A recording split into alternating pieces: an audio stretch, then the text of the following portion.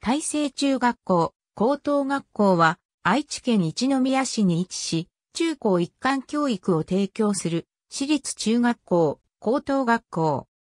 高等学校においては、ラトナディアコースに限り、中学校から入学した内部進学の生徒と高等学校から入学した外部進学の生徒は混合で学習する併設型中高一貫校。設置者は学校法人愛知正和学園。四字熟語の待機番生ではなく、才能は小さくてもコツコツ努力を積み重ねた人が最後に一番立派になるである。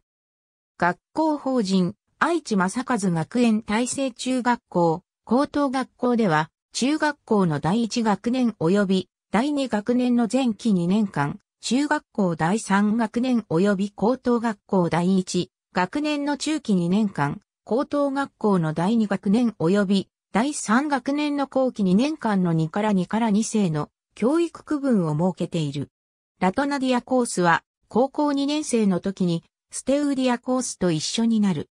中学校第2学年終了時点までに中学校の学習内容を終え、中学校第3学年から高等学校の学習内容をはじめ、高等学校第2学年から文系、理系の選択科目の学習を行う。毎年9月に学園祭が開催される。2日間の文化祭と1日間の体育大会で構成される。中学柔道部は男女ともに中学三大大会を完全制覇した唯一の学校である。男子団体戦では2008年に史上初の全中4連覇を達成。女子団体戦でも2014年に史上初の全中3連覇を達成している。ありがとうございます。